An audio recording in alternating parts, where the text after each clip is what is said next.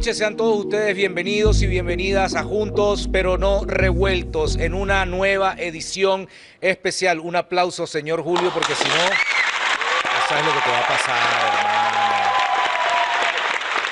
Miren que está de moda, está de moda la traición, está de moda las cartas raras, está de moda las locuras, está de moda tirarse, irse, retirarse.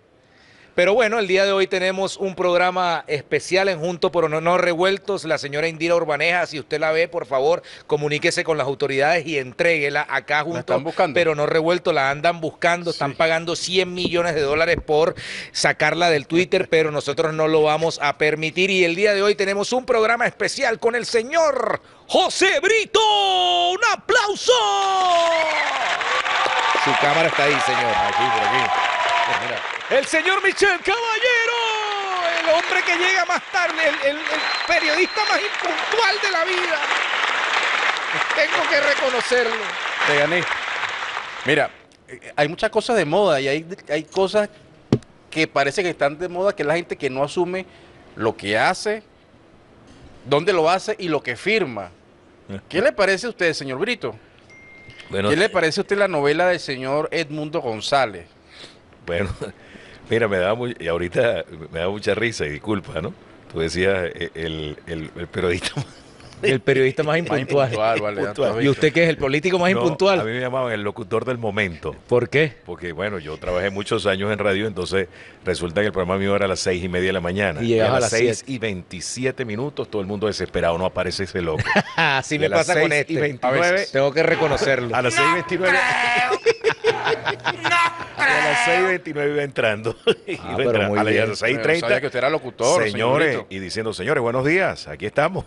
El locutor. Entonces me bautizaron el locutor del momento. Allá en Anzuategui locutor- fue eso. Eh, en Anzuategui, ¿Qué radio era esa? Bueno, trabajé en varias, pero luego la última en el circuito órbita, 25 años. 25 años de locutor. O sea, esa fue tu plataforma en Anzuategui. 25 años, una pelusa, ¿no? Se dice fácil, parándome todos los días a las 4 de la mañana. No, eso es horrible. Y me preguntaron un día si me había acostumbrado y dije, jamás, me resigné. Me resigné, no, yo, yo tengo un programa ni tan calvo ni con dos pelucas a las ocho y media y estoy tratando de pasarlo a las diez y media. E inclusive voy a llegar tarde si es a las diez y media. Pero bueno, siempre llego a las seis y veinte, yo llego a las ocho y veintisiete de la mañana todos los días. La puntualidad, el tema de la puntualidad. ¿Qué te parece lo del señor Edmundo? Eh, bueno, eh, se- por cierto, se redita mucho el caso de, de Juan Guaidó cuando decía y decía y repetía que no se había reunido con el gobierno y fue una reunión con Diosdado Cabello y apareció aquella imagen, aquella el video donde aparece con una capucha. Encapuchado, salió así. Ahora, sí. en este caso, bueno, no se Así atrevieron a tanto. Guaidó, aunque yo Así, parezco sí. como, un- como el, ¿cómo se llama? El honguito de Mario, de Mario, de Mario, de Mario Bros. Bueno, pero, pero, pero no dijo, al menos no asumió, pero que, que no estuvo en eso, pero resulta que dice que no, que firmó, pero firmó coaccionado. ¿Cómo se firma coaccionado en un territorio extranjero? Porque la embajada de España, ya el señor dentro de esa embajada está en otro país. Mira, eh, eh, es que el tema es que el señor Inmundo, eh, hay que bautizarlo ahora, Inmundo en su laberinto. Tiene un laberinto porque él estaba desesperado por librarse del yugo de los factores internos, de estos factores extremistas, alocados, irracionales, irresponsables, vendedores de potes de humo, liderizados por María Corina Machado. Entonces digo, bueno, me liberé, como la canción aquella de Mermelada Bunch, me liberé, me liberé, me liberé. Pero bueno, cuando llega a España, entonces es rehén, era rehén aquí de estos grupos.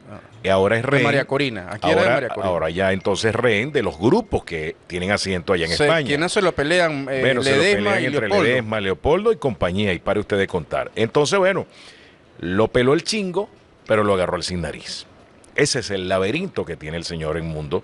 Porque fíjate lo siguiente, yo vi el tema de que cuando le publican eh, la, la carta, que fue una carta privada, eh, si a ti te coaccionan, lo primero que tú haces al llegar a España es decir, un momentico, yo he llegado a España, eh, bueno, hubo un proceso de, conversaciones con el gobierno, quien por la vía de la coacción me dieron el, salvoconducto.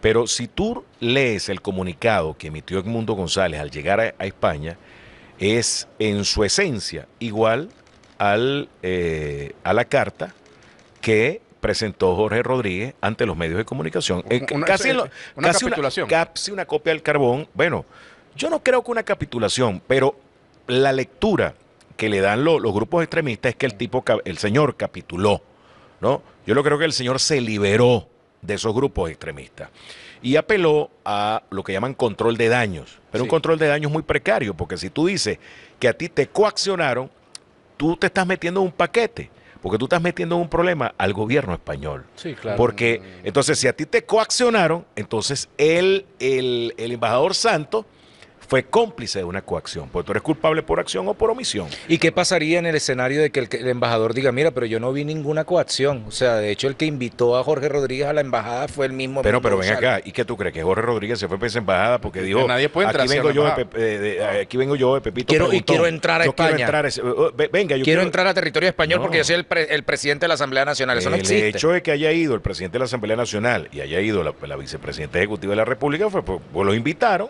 a qué? A un proceso de negociación. ¿Y qué negociaron? Bueno, un salvoconducto. ¿Para qué? Para que el señor Mundo se fuera a España. Porque no aguantó la presión y además que también hay que recordar que el embajador creo que de Países Bajos, eh, de, sí, de Países Bajos, eh, había dicho y había planteado en una comunicación que el señor Edmundo González se encontraba en su embajada desde el día siguiente, después de la 29. de- de elección, y que él desde el, de- desde el primer momento, inclusive, sí, ahí sí hubo una especie de coacción, de, por otra manera, siempre se le dijo a Edmundo, no, pero usted se tiene que quedar en el país para que siga luchando por supuestamente las instituciones democráticas y por proceso de transición, y él dijo, no, después pidió que se fuera a la embajada española, y ahí fue en donde pasó lo que tenía que pasar, que era el pedido expedito de este señor de querer irse a España. Recordemos que toda la familia de él está en España, la mayoría de la familia. Ah, pero ¿dónde está? Pero también hay que recordar dónde estaba el señor Mundo a- antes de que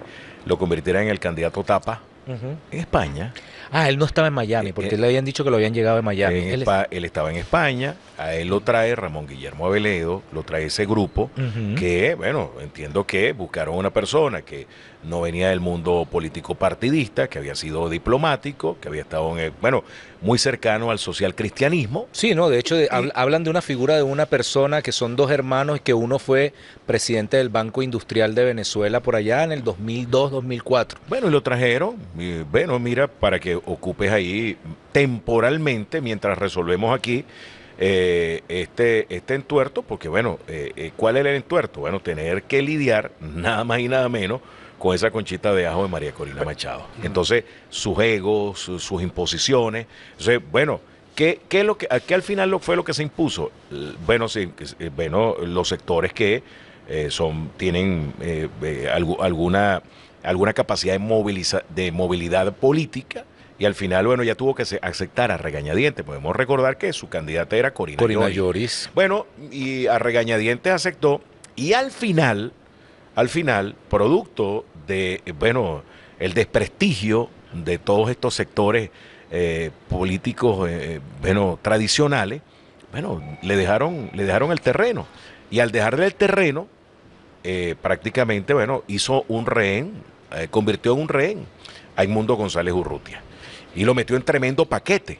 Ahora, pero, pero ahí, ahí, fíjate tú, vamos a hacer un recuento por lo menos de algunos elementos de esto. Primero, el gobierno español negó inicialmente que hubiera un diálogo o una comunicación con el gobierno de Venezuela para el tema del asilo y la entrega del salvoconducto. Y en ese momento, hace dos días, el, eh, hace unos días, el presidente de la Asamblea Nacional eh, detallaba que, bueno, vino un avión, y ahí se presentó además el video, vino un avión de la Fuerza Aérea Española que había aterrizado inicialmente en Dominicana y llega a Venezuela, y para que llegue a Venezuela tiene que haber un permiso del gobierno venezolano y tiene que haber un diálogo. Además, este avión no llegó al, aeropuerto, digamos, comercial, sino llega a, un hangar que pertenece al Estado, pertenece al gobierno. Esa es una primera instancia. Y en la segunda instancia, eh, cuando, como dice el mundo, fue coaccionado.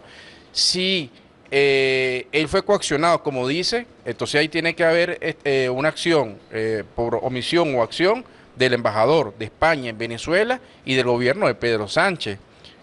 En todo, en todo caso es así. Y te digo esto porque hay una nota que aparece aquí donde dice que España niega cualquier implicación en el documento que Edmundo González firmó antes de salir de Venezuela. Entonces, eh, digamos, él no midió lo que España dijo. prestó la casa, Él prestó- hermano, o sea, él no para midió que lo se que- lo que dijo. encontrara bajo pedido y bajo voluntad de Edmundo González, que era el que pretendía irse y que quería negociar. Por eso, entonces, entonces, él no midió lo que dijo, porque si él dice que fue coaccionado, el gobierno de España eh, actuó por omisión o, o- o O acción. O fue testigo de pero, la ade- coacción. pero además, además, la carta, esa carta desgraciada, puño y letra de mi amada, esa carta dice, si hay una coacción, entonces, ¿tú crees que Jorge Rodríguez y con la vicepresidenta ejecutiva Delcy Rodríguez le van a llevar una carta? La lógica dice, le va a llevar una carta donde él dice, yo acato, más no comparto la decisión de la sala electoral, lo que dice acato y comparto. Y el, y el resultado, eh, una entrega completa. La carta, él dice allí, acato, más no comparto, porque en el derecho tú sabes que tú no puedes estar de acuerdo con una decisión, pero tú dices, bueno, como yo reconozco las instituciones del Estado y el ordenamiento jurídico vigente, aunque no comparto, tengo que acatar Ah, esa pero, decisión. pero el gobierno de España se va a poder lavar las manos otra vez a decir que ellos no tienen nada que ver, o así como pero, que- pero, en pero el en todo, avión, pero en no todo caso, esos payasos del Europarlamento Sí. y, los, y, los, y, y estos payasos que hicieron también algunos en el, en el Parlamento español, los que hicieron ese triste papel, al primero que tienen que llamar es ahora Mundo González Urruti y decirle, ven, ven acá, papadito, ¿cómo tú estás diciendo que tú viniste aquí a Venezuela? Pedro tú Sánchez. no, no, no, no, traer al Mundo González Urruti y decirle, ven acá, papadito, ¿cómo es esto que tú dijiste que llegaste aquí, primero sin ningún tipo de negociación? Mira, primero para que se pudiera dar el asilo político tuvo que haber un proceso de negociación entre dos gobiernos. Eso se cae, como dicen, eso se cae de anteojito. Y segundo, ¿cómo es que tú hablas de coacción en territorio español en presencia del embajador Santos? Eh, porque él está ahí, en la foto aparece vestido de blanco, que una gente Sí. decía que Sí, que parecía un rapero. que parecía. Ahí, ahí está Miguel Enrique Otero y están todos dándole, porque además la oposición venezolana se, te- se termina convirtiendo en una papa caliente, una especie de amistad peligrosa. O sea, mira ahorita el problema que tiene Pedro Sánchez, ¿verdad? Por parte del señor Feijó, San- eh, Feijó, el, el- Sí, sí, sí. eh, Feijó, Feijó, Feijó. Feijó que está diciendo, ustedes se prestaron para el secuestro, para la coacción. Tienes a Cayetana, tienes a Miguel Enrique Otero, tienes Así a Ledesma, tienes a paga- Leopoldo. así paga el diablo Ah, ahorita se te convirtió en un problema político interno, diciéndote que tú te prestaste para el secuestro, para la extorsión. Bueno, pero ahí tiene que... Y- ¿Y por qué no lo llaman y lo encaran en el Parlamento? Eh, eh, Es una papa caliente, a Pedro. Sánchez, a Pedro, a, a No, no, no, a mundo, claro. mundo. Ya eh, lo tiene que, tiene que, eh, que haga una comparecencia y que le, y que allí le pregunten. Y, y bueno, y sea un debate bien sabroso que se va a dar, porque yo entiendo que muchos parlamentarios también. Me imagino que va a existir ese Ah, debate. Bueno, muchos parlamentarios le van a decir, ven acá, ven acá, señor Mundo. Usted tiene que aclarar cómo fue el proceso de coacción. Porque entendemos, ese documento se firmó delante del embajador Santos, que es el representante de eh, la política exterior de del Reino de España En Venezuela. ante, en Venezuela. Entonces, él es, Entonces, eh, es cómplice. Él es un Y- y cómplice. Pedro de Sánchez es cómplice también Es un en ese coaccionador. escenario. Y entonces el, el- el- el- el canciller de español es un, cómplice, es un co- coaccionador también. O sea, fíjate tú, así paga el diablo a quien le sirve. Porque le meten en un paquete. Pedro Sánchez, que ha jugado una actitud guabinosa, de, de- de Sí. tratar de estar bien con Dios y con el diablo, juega para acá, juega para allá, mantenerse entre estos- esas aguas. Bueno, resulta y pasa que lo meten en tremendo problema, porque entonces ahora le dan a esa jauría de locos, comenzando por la Cayetana y por el otro Feijó, bueno, eh, comienzan a arremeter contra, eh, contra Pedro Sánchez, porque el Se tema es que ellos están, ellos, ellos están mirando el ombligo, porque ellos el, el- el conflicto español, el- el conf- el- el- la situación venezolana la están utilizando para dirimir su, su, su conflicto, su, eh, su- su candelero que tienen allí. Y hay que recordarle a Pedro Sánchez que son sectores radicales de la oposición venezolana los que están prácticamente haciéndole o planteándole una especie de golpe suave. Yo me acuerdo que el año pasado yo estuve en Madrid y había una serie de manifestaciones al frente de el partido, de las sedes del Partido Socialista Obrero Español, escarachando a un Zapatero, a un Pedro Sánchez, buscando, haciendo manifestaciones no violentas, porque eso es lo que hay que plantear, que eh, el mecanismo de, de- de supuestamente de, de golpe suave, de, de- de manifestaciones no violentas, la quisieron hacer inclusive al frente de las sedes del partido, del Partido Socialista Obrero Español, que no tiene nada ni de socialista ni de obrero, porque mientras tanto apoya a Israel. Pero yo quiero mostrar, no mostrar, quiero, quiero recordar que esta, esta historia ya nosotros no las conocemos. Aquí está, mira, y pareciera como si estuviésemos en una especie de déjà Venezuela, el, el Parlamento Europeo reconoce a Guaidó y pide a la Unión Europea que haga lo mismo. Es lo mismo que hicieron con, con el señor, con el señor eh, eh, Edmundo González. Dice, el Parlamento Europeo reconoce a Edmundo González presidente legítimo de Pero es la misma misma, porque y además eso no tiene carácter vinculante. Eso no tiene carácter vinculante. Ese es un libreto que, fíjate tú, que este libreto no les termina de salir del todo bien, porque en aquel momento metieron en ese paquete a 60 países. En este momento muchos lo que dicen, es, yo no me vuelven a meter en ese embarque. Pero, eh, bueno, eh, estos grupos que, eh, que pululan de la extrema derecha internacional, realmente, bueno, andan en un plan. El plan es, bueno, tratar de vulnerar la soberanía venezolana. Ellos como que no han entendido, eh, Carvajalino y, y, y, y, Michel. y Michel ellos como que no han entendido que hace más de 200 años aquí se acabaron los virreinatos y, las capitanías. Aquí se acabaron, aquí no, la época de la colonia pasó, compadre. Es decir, no puede venir aquí que el reino de España, que el parlamento del reino de España. Además, fíjate tú, en el parlamento europeo, que están como, creo que como 27 países, creo que conforman un poco más, conforman ese parlamento. Bueno, ahí, ahí hay muchas monarquías. ¿Y, quién elige? ¿Quién, eligió al rey de España? Eh, pero, pero hay muchas más. Por lo menos, bueno, tienen el rey de España. El pero rey de Noruega. Eh, pero Noruega, y que no tienen elecciones. Y entonces hablan de democracia. Entonces, eh, esas son las grandes contradicciones, es la supina y Pero es, que, pero es que si nos vamos a eso, en ese momento, ¿por qué no pedía el Parlamento Europeo las actas del señor Juan Guaidó? Eh, si, si, es que supuestamente hay que convertirse esto en un elemento de, de, exigencia de algún resultado electoral.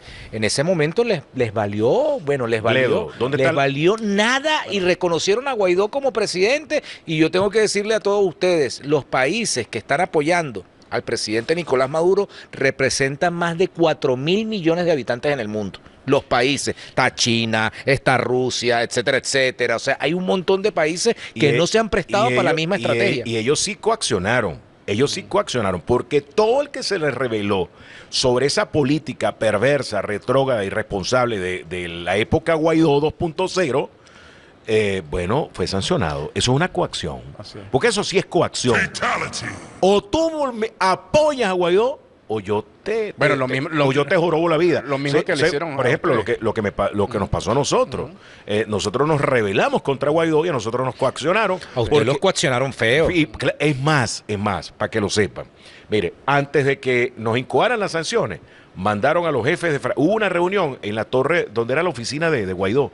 Yo jamás había entrado ahí aquí en la avenida eh, en la avenida Francisco de Miranda. Infidencias del señor José Brito. ¿Cómo se llama esa torre? la torre Ajá, sí, torre Sur, creo que era la torre. Bueno, yo ni recuerdo. Eh, eh, entonces, nos citaron ahí, bueno, ahí estaban todos los jefes de los partidos. Y entonces yo recuerdo que cuando yo me senté, muy irónicamente dije que vine aquí, al, estoy sentado, esta es la, silla del patíbulo.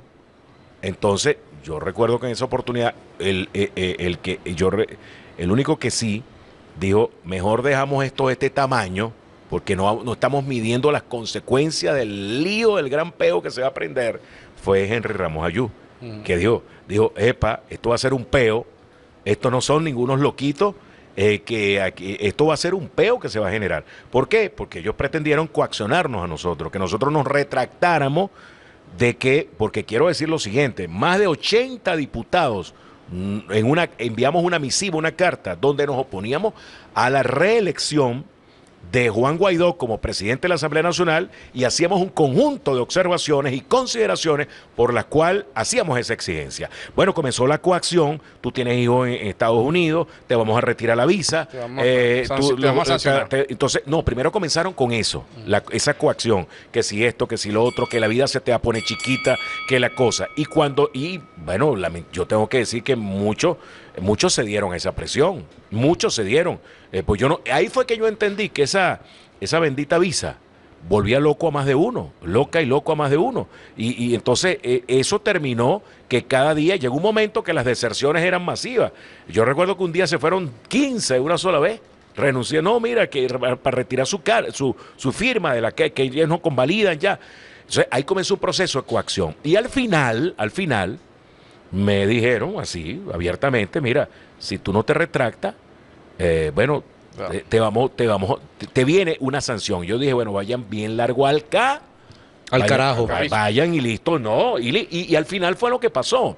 Y ahí es que viene el conflicto cuando ellos entonces inclusive nos expulsan a nosotros, a un grupo de diputados, nos expulsan de Primero Justicia, que fue cuando nosotros concurrimos, por eso es lo que ellos nos cuentan, acudimos al Tribunal Supremo de Justicia, bueno, y nosotros solicitamos un recurso de amparo, eh, un- una medida, un recurso de amparo contra esa decisión irrita, ilegal, retaliativa y coaccionadora de esos grupos que, bueno, buscaban era eh, eh, a decir, mira lo que le pasa a Brito, mira lo que le pasa a Pedro, a Luis, a Parra. A Conrado, al otro, al otro, mira lo que les pasa, véanse en ese espejo. Eso fue lo que buscaron. Sancionar, castigar, bueno, coaccionar. Bueno, yo quiero decirle, la verdad es que yo ahorita le decía aquí a manera de chanza a un amigo, llegando aquí a Venezuela, nos le decía, bueno, vale, eh, hay un viaje para China. Bueno, no, no, porque iré para China o para Turquía. pues No, no te puedo- toca China, Rusia, Turquía. porque no puedo ir- India. no puedo ninguna, bueno, a lo- Bueno, la India no. No, No, eh, eh, la India no creo que pueda ir. entonces, eh, eh, la verdad es que,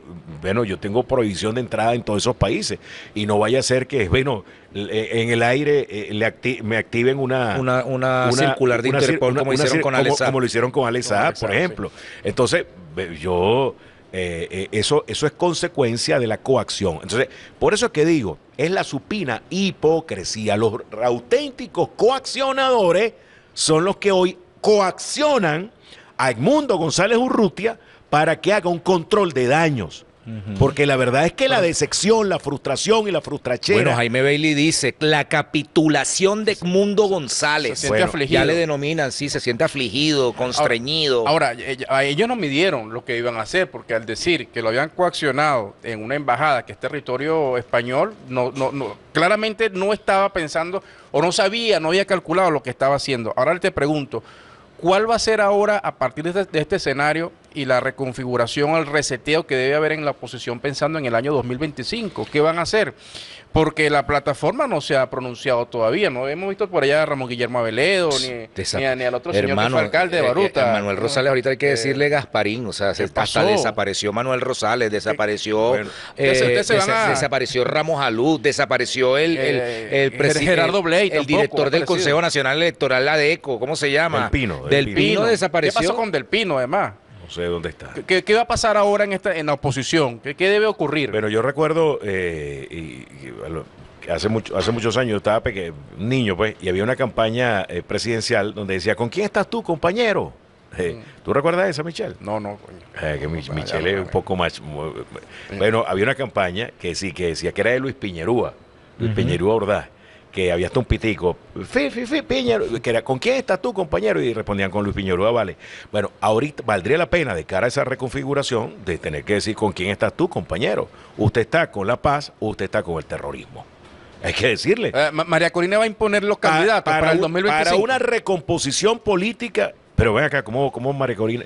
Mira, Rosales le dio la tarjeta, Vuel- como él vuel- dijo, en vuel- la- con vuelvo, la vuelvo y repito, vuelvo y repito, vuelvo y repito. Tiene que haber aquí un proceso donde tú le preguntes con quién estás tú, compañero, con la paz o con el terrorismo. Toda persona que esté con el terrorismo no puede utilizar y no puede valerse y no puede de las prerrogativas que da todo sistema democrático.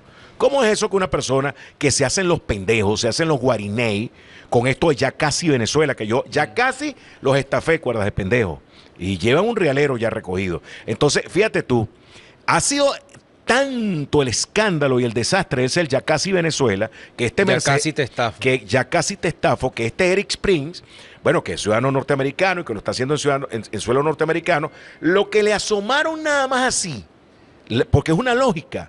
Eh, decirle, eso les puede generar consecuencias allá en los Estados Unidos. Sí, en el bueno, en el eso, FBI, eso llevó, eso etcétera. llevó a que Iván Simonovino controlara los esfínteres y ayer tuvo que recular y decir, no, yo no tengo nada que ver con ya casi Venezuela, yo lo que soy un ciudadano más, que grabé un videíto y Que, me- que busquen a Prince. Sí, sí, y aquí decía do- dona, dona, ya. Dona, dona ya, dona ya. Y yo quiero decirles lo siguiente. Yo estoy convencido que eso es una estafa. Es una estafa. Pero si a esos locos se les ocurriera a un grupo de mercenarios venir a actuar en suelo venezolano como que no están midiendo las consecuencias de lo que eso puede generar. Eh, mira, aquí puede generarse una guerra civil, porque aquí nadie es mocho, nadie es mocho. Y aquí nadie, ¿cómo es eso que eh, aquí se hacen de la vista gorda? Mira, aquí el, fíjate tú, el grave problema es que el, eh, no hay responsabilidad en el liderazgo político venezolano. ¿Y cómo es que eh, ocurre esto al ya casi Venezuela?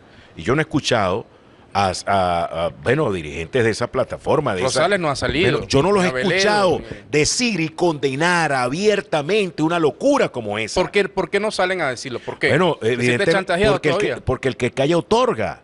Y quiere decir entonces que están de acuerdo con una cosa como esa mañana, mañana se le ocurre a cualquier loco, a cualquier sicario, a cualquier mercenario, vamos a recorrer, vamos a recoger para matar a María Corina. El Estado venezolano tiene que, el gobierno en representación del Estado tiene que actuar inmediatamente y detener a esa persona que diga que va a asesinar a María Corina Machado y tiene que apresarlo, detenerlo y juzgarlo conforme a la, a la ley como tal. Pues como una persona va a decir voy a matar a María Corina Machado? Es, peligroso. Es peligroso. Es peligroso y mira, ya eh, el, peligro o digamos esa línea narrativa por, cual, por la cual se están moviendo los sectores opositores, porque al principio, primero que todo, la ausencia de un liderazgo político determina que los mercenarios terminen cooptando esos espacios de poder dentro de la política. ¿A quién le están dejando, digamos, la responsabilidad política de estos sectores y las esperanzas configuradas? Se la están dejando a un señor como Eric Prince, etcétera, eh, a un señor como Iván Simonovic, que ya sabe que el FBI le puede abrir una investigación internamente y quiero que lo sepan todos ustedes, y esto no es a manera de amenaza, pero nosotros sí estamos muy pendientes de quién está escribiendo, de quién está diciendo que está donando, porque estás donando para matar a una persona. Y estás donando. hay gente aquí en Venezuela. Y hay gente aquí en Venezuela, y, esos son los que estamos agarrando. A eso somos los que estamos mostrando y estamos haciendo una especie de hermenéutica de, de sus trazas en las redes sociales, los que dicen yo metí 100, yo metí 200, yo metí 500, mm. porque le estás pagando a un sicario. Y ustedes se dan cuenta cuáles son los resultados. Resultados inmediatos. Ya hay más de cuatro gringos presos aquí por parte del Ministerio de Interior y Justicia, el ministro Diosdado Cabello que los ha denunciado. Resultados inmediatos, ya se han incautado más de 400 armas. Resultados inmediatos, ya se han abortado la connivencia que había entre mujeres prepago, entre malandros de cárceles que supuestamente estaban prestos para este escenario, ya se le dio una coñaza al tren del llano, ¿verdad? Porque en algún momento determinado lo quisieron mostrar, entonces pasaron del tren del llano como, ahora sí, los del tren del llano están con María Corina, ahora tienen a Eric Prince. ¿Qué pasó? Que el día jueves eh, ya el señor, un senador de poca ralea, de poca densidad moral, como el que se llama Rick Scott, ya dice que está planteando tener eh, senadores de Estados Unidos presentan proyecto de ley para aumentar recompensa por información sobre Nicolás Maduro a 100 millones de dólares. Entonces, ¿qué pasaría? Por eso es que uno de los primeros planteamientos del presidente Nicolás Maduro y de muchos sectores políticos que hemos acompañado al presidente Nicolás Maduro es, primero, quítenle la recompensa al presidente Nicolás Maduro. ¿Quién trabaja políticamente de esa manera? Estados Unidos desde hace más de cuatro años le puso precio a la cabeza del presidente Nicolás Maduro, puso sanciones al presidente Nicolás Maduro y al pueblo de Venezuela. El resultado inmediato es, bueno, que el chavismo sigue avanzando, que se siguen generando las condiciones para avanzar en términos políticos, pero que nosotros no podemos permitir que cualquier persona le ponga al precio de la cabeza un presidente, o al, o al presidente de la Asamblea Nacional, o a la vicepresidenta, o al señor Diosdado Cabello Rondón. O sea, eso nosotros tenemos que denunciarlo. Pero por eso digo, cuando hay ausencia de política, entran los mercenarios a ocupar ese papel, entran los sicarios a ocupar ese papel, y es lo que nosotros no podemos permitir. Claro, en esa ausencia de política, eh, vemos entonces que pasamos de Lele Pons a Eric Prince. Sí, eh, pero ojo, ojo, José Brito, los mismos influencers que utilizó María Corina para la marcha del 16 de agosto son los mismos influencers que está utilizando Eric Prince, George Harris, La Divasa, etcétera, etcétera.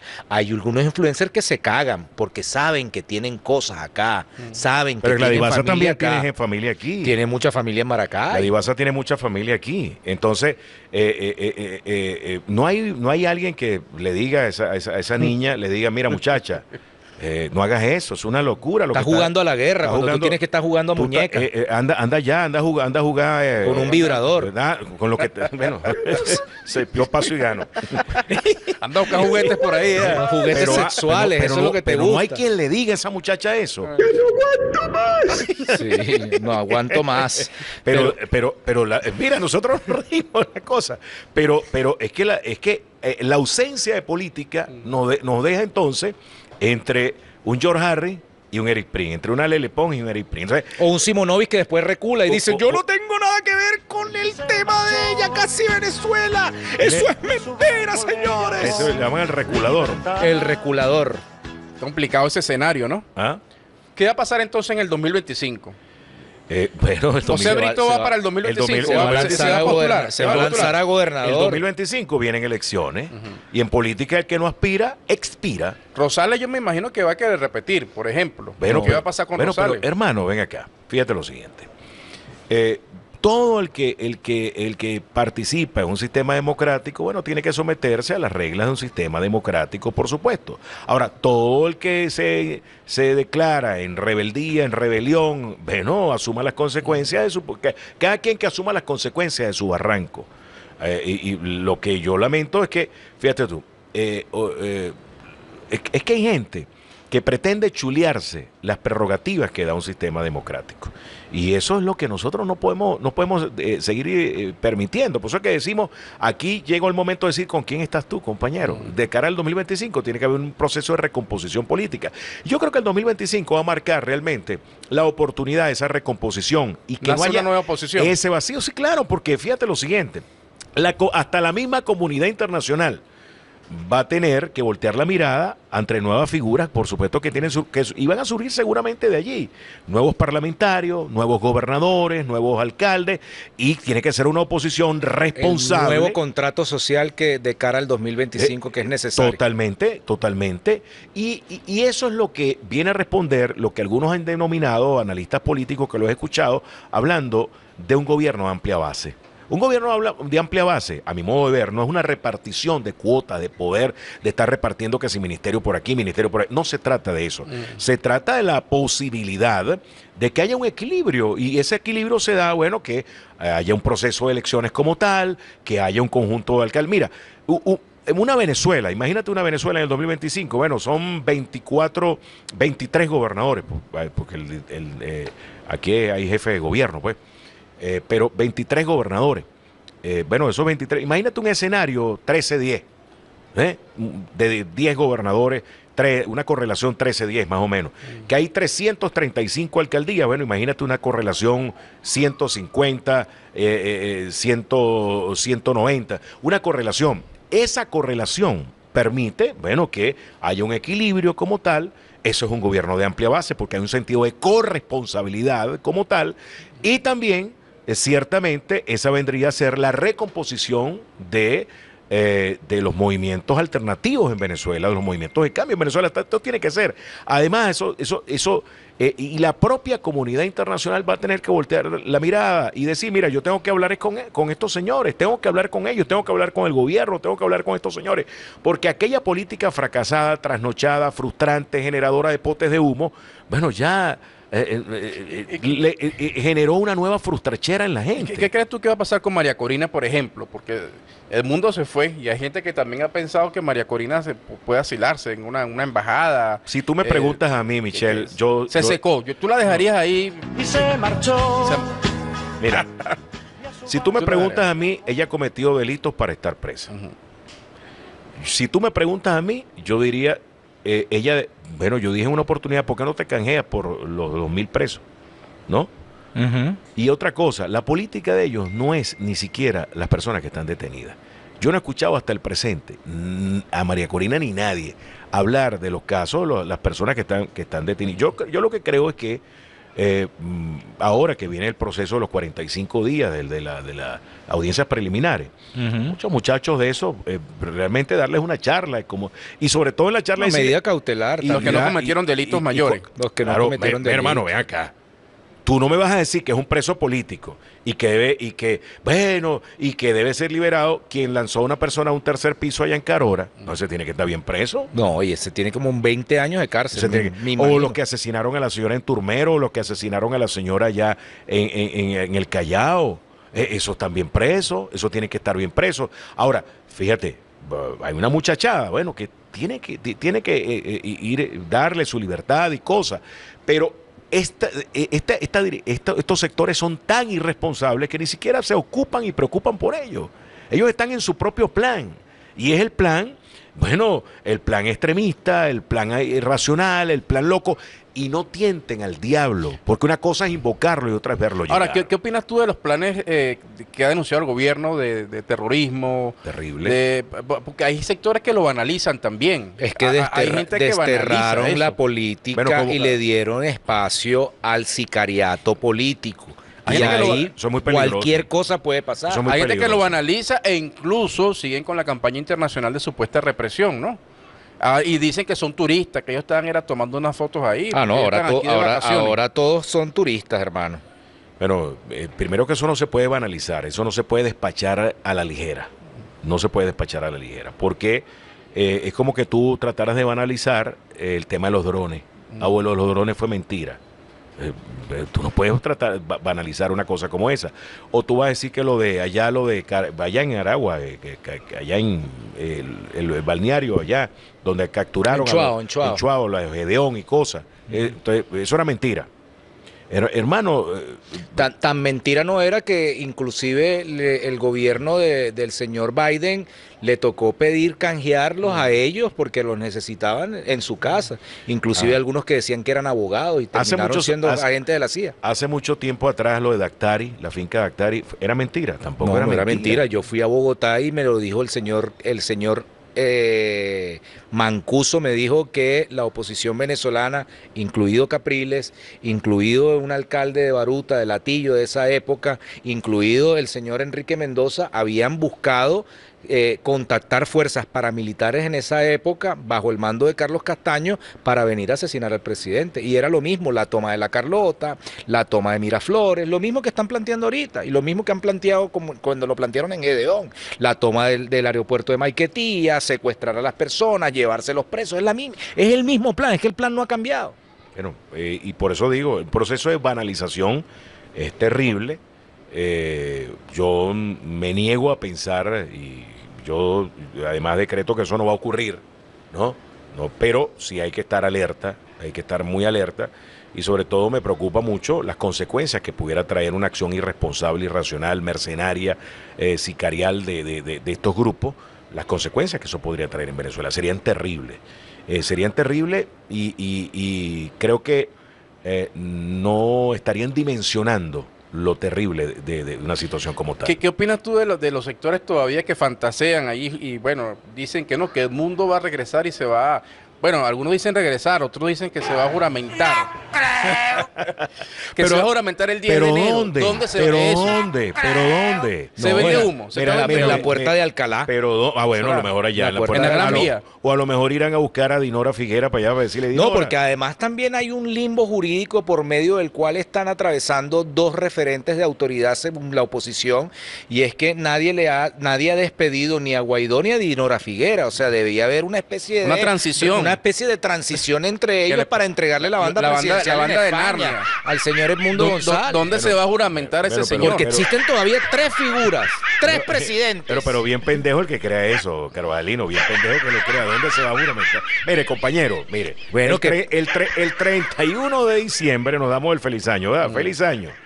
El 3 de enero tenemos que estar nosotros aquí en Caracas. ¿Quiénes? Los que somos actuales parlamentarios. los diputados. El 5 de enero, lo, lo dice taxativamente.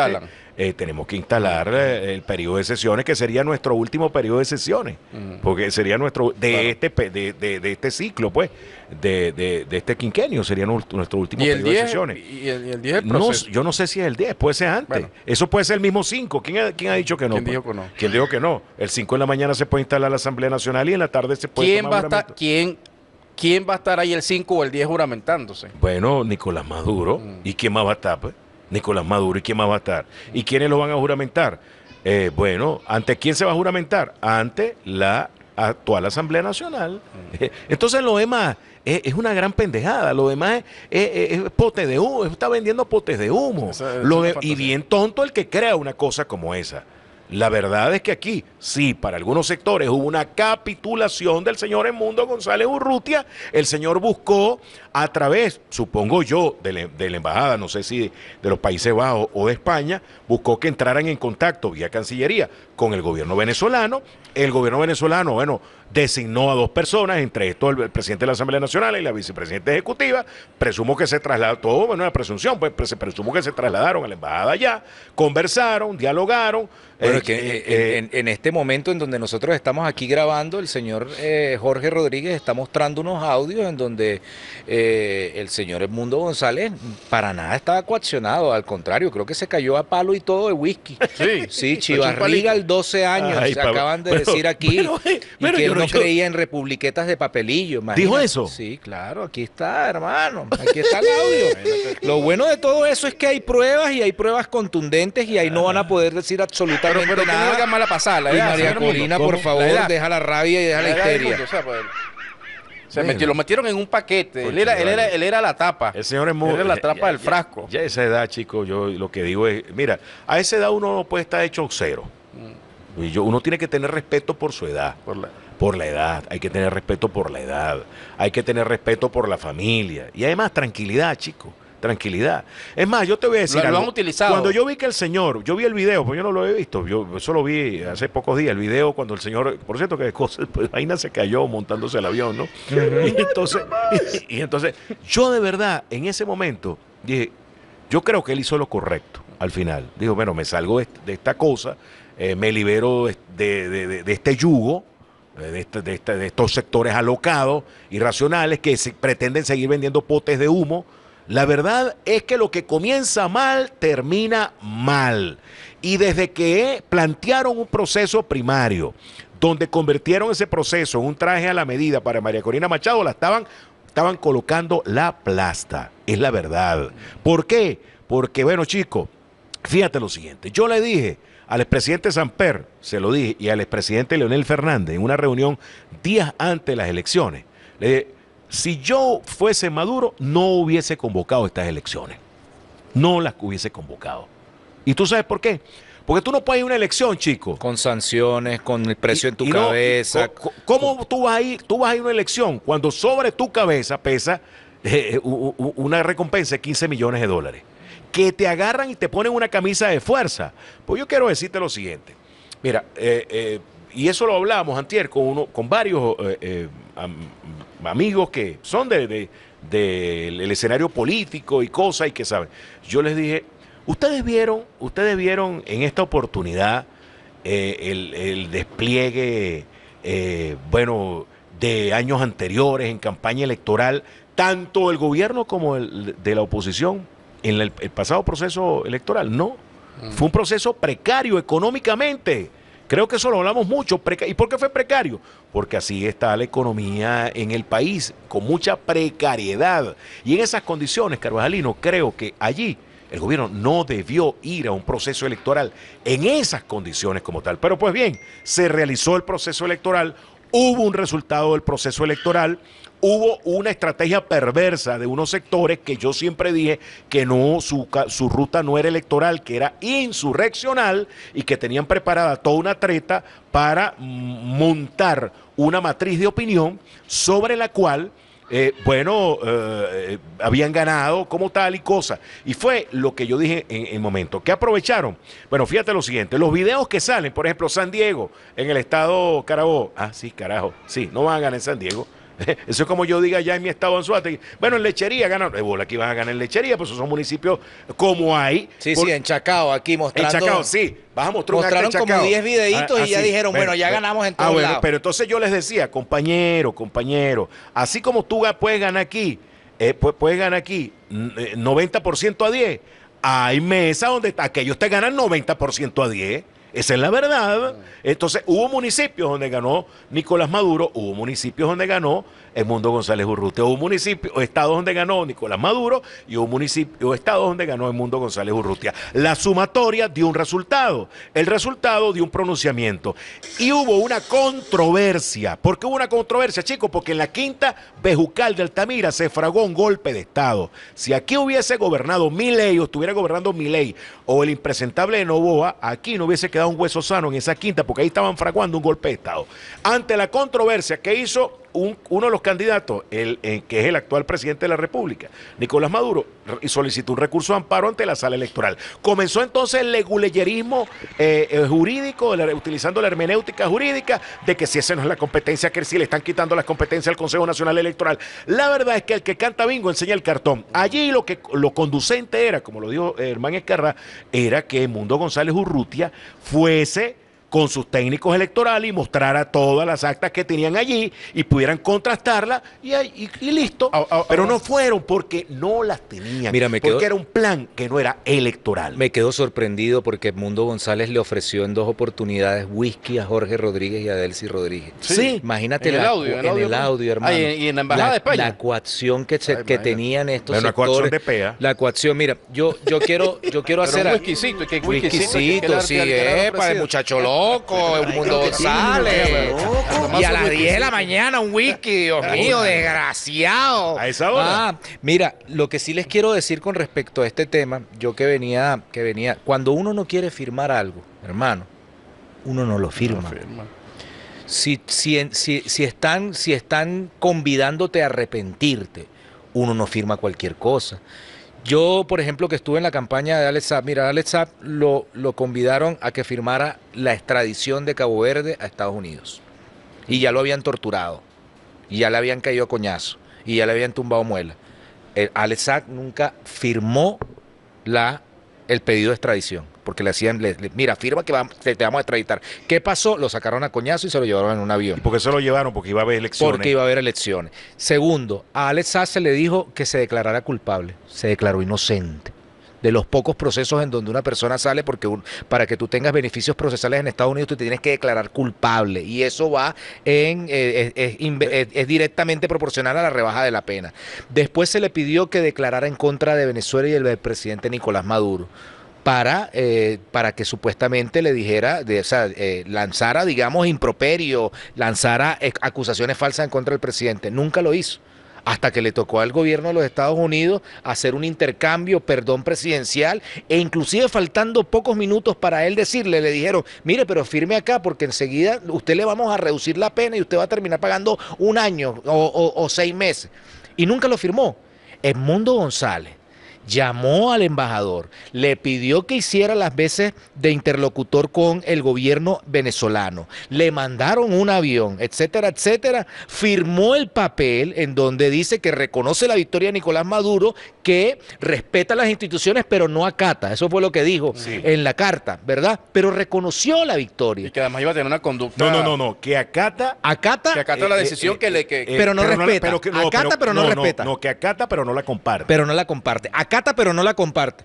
Entonces, tú siendo presidente, hermano, tú no te vas a restear, hermano. Si supuestamente en el, en el ámbito de que si supuestamente es presidente, que no lo es.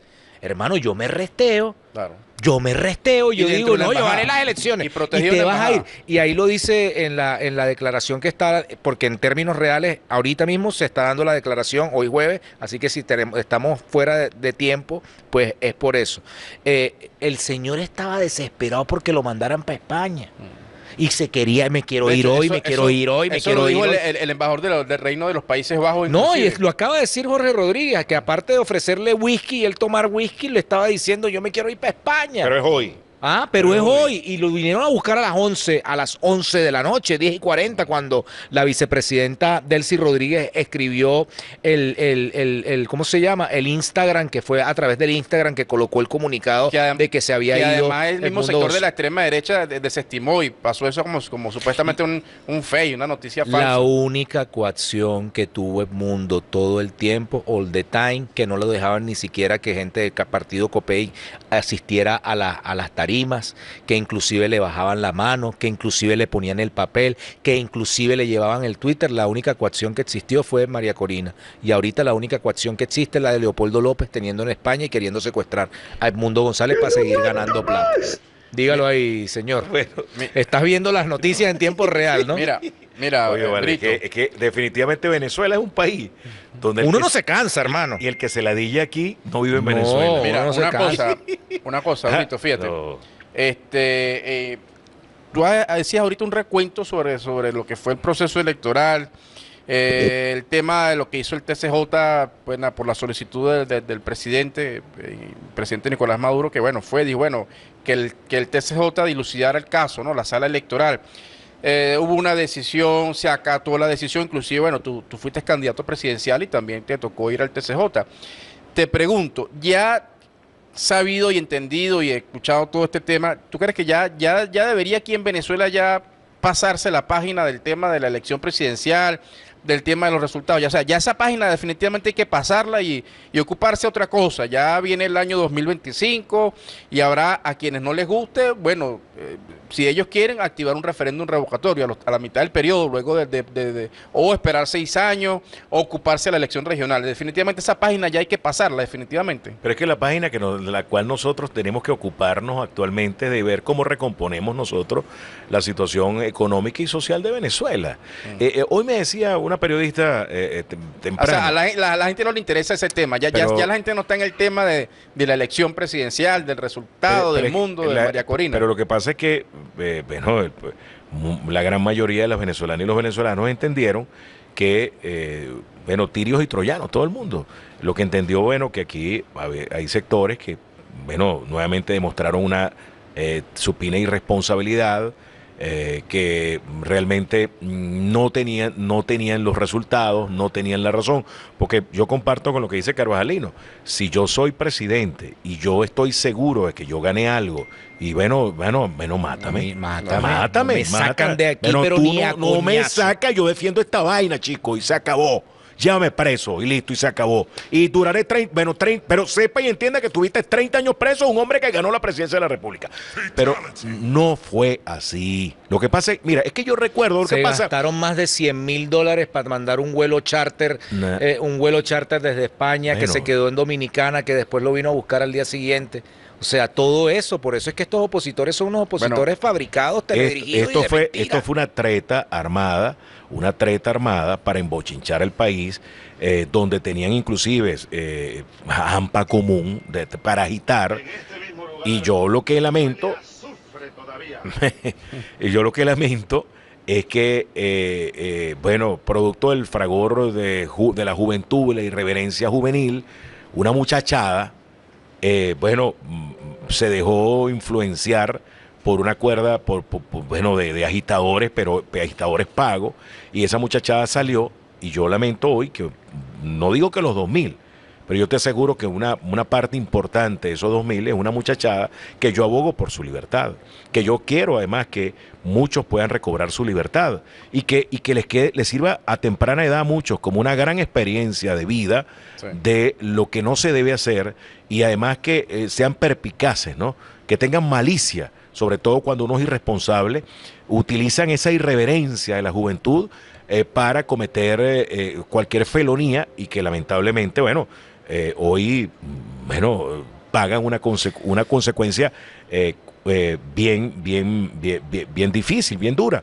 Pero por eso digo, yo lo que eh, sostengo es que la impunidad, la impunidad eh, genera eh, que, esto, que esto siga ocurriendo, Mira, que esto siga ocurriendo. ahí- Llegará el día, llegará el día que algunos que se creen intocables, bueno, el brazo de la justicia Mira, les Mira, toque la aquí puerta. está diciendo Jorge Rodríguez que hay un documento en donde Mundo González pide que no se metan con sus bienes ni los de sus familiares. O sea, le está diciendo, si sigues diciendo que yo te coaccioné, te voy a seguir sacando cosas. Y aún aquí es peor, fíjense tú algo, aquí, aquí hay un comunicado que eh, ya está haciendo los medios de comunicación, valga la expresión, de González, eh, de, de este señor Mundo, lo coloca aquí Osmari Hernández, periodista de, de CNN, y es un comunicado donde Edmundo dice, fíjate tú, donde Edmundo dice que descarta, es decir, él niega que haya recibido presiones del gobierno de España o del embajador Ramón Santos para la firma de ese documento. Es decir, niega que haya recibido presiones. Entonces, bueno, este señor habla para adelante y habla para Pero atrás. si no le, no, si- hi- si- no le hizo hacer decir Ah. mentiras a su abogado. Bueno, pero si ya va, si, si, si él entra y se firmó ese documento redactado por Edmundo, firmado por Edmundo, dentro de la embajada y fue coaccionado entonces, bueno, tú me- ¿cómo se explica eso? A ver, ¿cómo se explica eso? Que, eh, que la persona haya sido, según lo que dice Edmundo, coaccionado, o sea, haya habido un evento, según lo que dice Edmundo, ilegal dentro de un espacio como en este caso la Embajada de España. Bueno, tuvo que haber habido una acción o por acción o por omisión, el gobierno de España, el embajador de España, se prestó para algo ilegal. ¿O, o cómo es eso, pues? ¿O cómo es eso que en una, No, mí- en una me- casa te roban y el dueño de la casa, estando ahí, no, a mí me ve pa- que te están robando y no hace nada? A mí me parece que Mundo es? González hizo un mal uso de la figura del embajador porque lo terminó convirtiendo en una especie de mesonero que servía whisky y además chivarriga al 12 años. ¿Eh? Ah, ¿qué pasa, Dios mío? Qué falta Claro. de estilo, ¿ah? Pero ¿cómo es Llévense una botella de Macallan, una botella, ah, ah, de Buchanan 18 años, no Mira. sé, pero Dios mío, chivarriga, qué una cosa tan loca. asquerosa, Dios mío. Además, ahí se ve Edmundo González, pide que no se metan con sus bienes. No pidió nunca por los presos políticos, que supuestamente hay dos mil. Es para que ustedes se den cuenta de los niveles de importancia y de la jerarquía de las ambiciones y de las necesidades de estos sectores. La jerarquía es sus intereses particulares, la jerarquía es salvaguardar sus, sus bienes, ¿verdad? Y yo por eso yo siempre he dicho, yo a un, un- un Leopoldo López le hubiese quitado esa casa que tiene ahí en Los Palos Grandes. Y lo mismo que a Julio Borges. Esa casa tiene que ser una extinción de dominio porque todas esas personas son unas ratas asquerosas. Además, fíjate que este comunicado, además de Mundo González, eh, que tiene la fecha de hoy, además desmiente al gobierno español, porque hay dos cosas. Primero, él dice, bueno, sí, eh, me coaccionaron en, en la, en la casa del embajador frente al, al- al embajador. Es decir, es como que a ti te roben dentro de la casa de, de una persona y, la- y el dueño de la casa está viendo que te están robando y la persona no hace nada. Pero además, el gobierno español ha dicho que no ha habido ningún diálogo, ninguna eh, negociación con el gobierno venezolano. Pero aquí el, el señor Edmundo dice, eh, no he sido coaccionado por el gobierno de España ni por el embajador español en Venezuela, Ramón Santos. Pero más adelante él dice que el gobierno de español se comprometió a garantizar mi seguridad durante el desplazamiento hacia el avión de la Fuerza Armada Española, así como en mi llegada a España, tal cual pasó. Estas medidas tuvieron la finalidad principal de permitir la continuidad de la tramitación de mi solicitud de asilo ante el Estado español. Fíjate tú, o sea, hay una contradicción, co- porque el gobierno español dice que no hubo ningún diálogo y aquí él mismo dice que el gobierno español justamente si hubo un diálogo para el desplazamiento del avión de la Fuerza eh, Aérea Española. Entonces, Pero entonces fue, eso bueno, fue- ¿cómo es pero- eso? pues? pero es que de, eso- de- por sí solo se cae, porque pero- para que entre un avión tiene que haber una negociación. Pero es que eso no fue el cine mudo. Eso no fue el cine mudo, compadre. No, vale. Ahí hubo un proceso de negociación y eso es lógico y en términos para, en términos diplomáticos sea un proceso de negociación. Lo, lo confirma el mundo que- aquí además. Bueno, pe- Pero, pero ¿cómo eso de que, que cometen un delito en, en- en- en tu casa frente a ti y tú no haces nada y no eres partícipe ni eres cómplice de ese, de, ese supuesto Hermano, delito? Porque él dice que lo coaccionaron. Lo que pasó es Pero- que, lo que pasó es que, yo no sé, pues tú me estás hablando hasta de whisky que hubo de por medio. Yo no sé si en la PEA se le olvidó. ¿Será que se había echado se, unos palos? se- se le olvidó el documento. ¿No? Se le olvidó que firmó el eh, eh, eh, perdón, ese, ese, ese, ese, eh, esa, esa, ¿Será que lo esa carta allí, yo no sé, porque realmente, o quien lo asesoró allá en España lo puso a cometer eh, un desafuero y fue peor el Pero ¿y remedio ¿Quién que la más va a estar enfermedad. asesorando los hermanos? Bueno. Ledesma y Leopoldo López. Bueno. El- niño o sea, bomba, pasó de, pasó un secuestro a otro secuestro. De loco. Del Bueno. secuestro de María Corina al secuestro de Bueno, lo Leopoldo peló el chingo, lo agarró el sin nariz, lamentablemente. Sí, señor. Increíble, lamentablemente. Lamentablemente. Por eso que digo, el mundo en su laberinto. El Eh, mundo en su laberinto. El mundo en su laberinto, ese es el tema. Así y, el mundo en su laberinto, entonces, bueno, ha puesto en su laberinto también a sectores que apostaron todo. el Hermano, to- el mundo todo. es peor que Atila, o sea, se llevó todo por el medio, ¿viste? se llevó a todos los opositores, se llevó a María Corina, se llevó, eh, o sea, se fue peor, eso fue, eso fue un carro bomba Lo- que le pusieron los copellanos y Ramón Guillermo Abeleo que se queda callado en medio de su contemplación de la política. Qué cosa tan asquerosa. Pero bueno, miren, ya tenemos que irnos, muchachos. Ya una hora de este Hablamos- programa. hablamos- hablamos durísimo, pero bueno, esta, así es este programa y así son las cosas en Juntos, pero no revueltos con el señor José Brito. Gracias, señor diputado. No, gracias a ti, gracias, Te, te auguramos muchos éxitos en tus campañas políticas eh, venideras o que vuelvas a la radio 25 años allá en Anzuategui. Bueno, yo Es vuelvo- lo que te va a ¿Cómo- tocar porque cómo se Marcano ese va a programa? ganar. ¿Cómo se llamaba la, ¿Cómo se llamaba el programa? ¿Ah? ¿Cómo se llamaba el Gente programa? en el aire. Gente, Gente en el aire. Gente en el aire, Así gente en el deja, aire. así dejó el mundo a más de uno. a gente en el aire. Gente en el- Bueno, yo, bueno, yo no sé, a lo mejor termino haciendo el programa aquí en Caracas. Ah, bueno. Sí, cualquier cosa puede pasar. Amor, amor se viene como y además que viene también elecciones de diputados. ¿no? No, y- Nacional. y, y y- y puede venir otras cosas. Nadie aquí, bueno, nadie, nadie sabe. No hay muerto en político. Nadie sabe. A lo mejor termino haciendo el programa aquí en Caracas. Primero, primero lo, lo primero que tengo que decir es que este programa terminó y segundo, González. Chao, hasta luego, nos vemos. González en su laberinto.